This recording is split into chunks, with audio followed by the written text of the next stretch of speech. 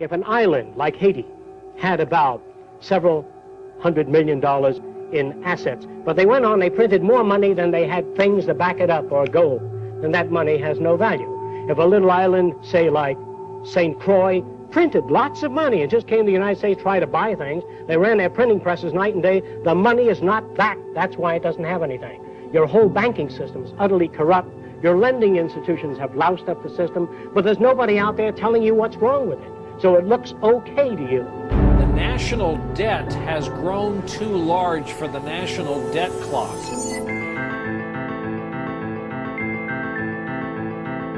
None of the world's economic systems have eliminated our most dire problems. All social arrangements to date have remained plagued with war, poverty, crime, racism, elitism, and most of all, scarcity.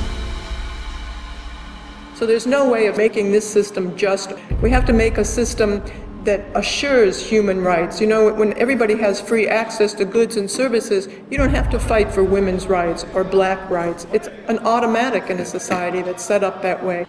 Today we have highly advanced technologies, but our social and economic system has not kept up with our technological capabilities which could otherwise easily create a world of abundance for all people, free of servitude and debt. This system will keep installing more and more automation, cutting down on the purchasing power of the majority of people. It's not China taking our jobs away. It's not India taking our jobs away. The machine has beaten the man. There will come a time called the Gaussian curve, where employment is that, production is this, and purchasing power is that. The system stops. Our problems and their solutions are technical, not political. Most problems can be solved when technology and the methods of science are used with human and environmental concern to serve all people rather than a select few.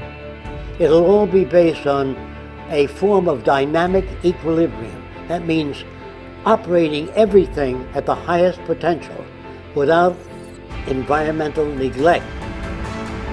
When we unleash science and technology directly into the social system without the restrictions of the marketplace, finances, or patents, we could achieve a very high standard of living within a very short period of time.